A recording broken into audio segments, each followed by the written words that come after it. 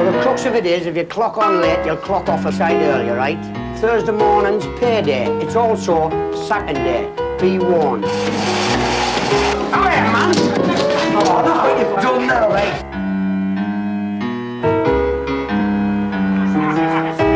Boot it, lad, boot it. What do you think, lad? That's not bad.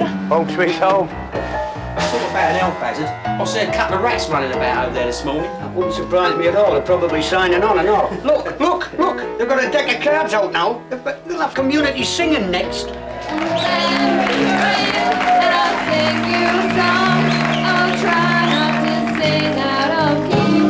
Boxer shorts, coloured socks, for a heading, you know.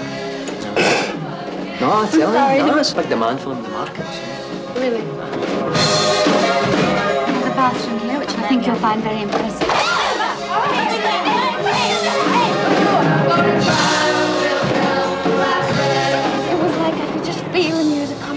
All going round like this and I was just singing and it was just coming out. Will you marry me? Ah, I suppose so. Well, listen here, Jock. Next week, when I'm famous, you're going to have to shoot three people just to get to shake hands with me. Oh, is that right?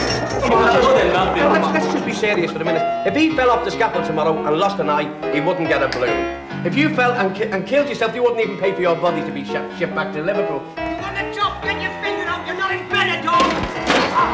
I'll give you enough rope to hang yourself, pal, and you've just done it, right? I'll give you the ten pence. Ten pence, my ass. Sack him and do it now. well, it's fun. What you do that for? Hey, you're killing me. Satisfied? And you can think you broke both this light bulb?